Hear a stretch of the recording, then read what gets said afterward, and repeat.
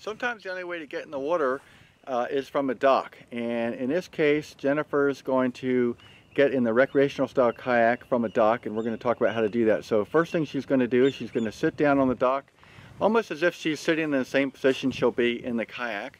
Then she's going to swing a leg around, make sure that kayak stays in close. Go ahead and put your other foot in there. Good, and then she's going to rotate her chest towards the dock, both hands on the dock. So her weight's on her hands, and she's going to drop her butt down into the seat. Good.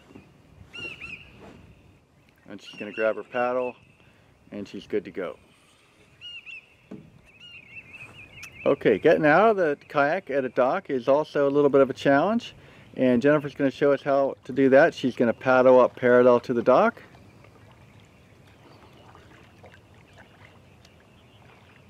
And she's going to extend her paddle up on the dock. I like to leave the paddle out a little bit just in case you start to drift away and need to grab it again. Okay, so she's going to put both hands on the dock and the goal is to get her weight on her chest as she's kind of leaning up towards the dock. There you go. Perfect. And then she's going to roll over so she's seated on the dock. And then she's ready to swing her legs and make sure not to push that kayak away from you as you get up. If you've got another person to help, they can stand and help secure that kayak against the dock so it won't slide out away from her. And that's a pretty high uh, dock right there, so that was a good job. Way to go, Jennifer.